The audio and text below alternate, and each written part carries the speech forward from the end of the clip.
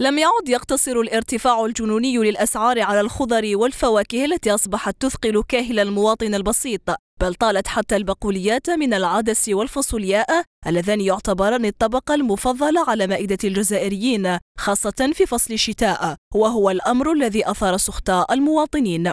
كلش غالي الزوالي ما, ما ينجمش يأكل دوك. بزاف راهي الغلا في الخضرة في في المواد الغذائية بزاف. la vie trop chère ما صبنا وين نرجعوا رحنا فبعد الأسعار الملتهبة التي حرمت المواطن من اللحوم وتلتها الخضر بكل أنواعها حتى الموسمية منها أين بلغ سعر البطاطا 65 دينار والبصل 90 دينار.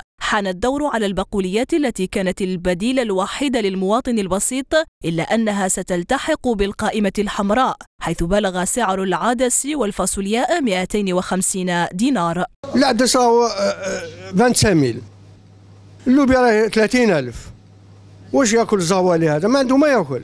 طوماطيش بصح 200 فران لو كيلو سيناريو الارتفاع الجنوني لأسعار المواد الغذائية الواسعة الاستهلاك قد اعتاد عليه المواطن الجزائري الذي لا حول له ولا قوة في انتظار تدخل السلطات المعنية لتسوية الوضع.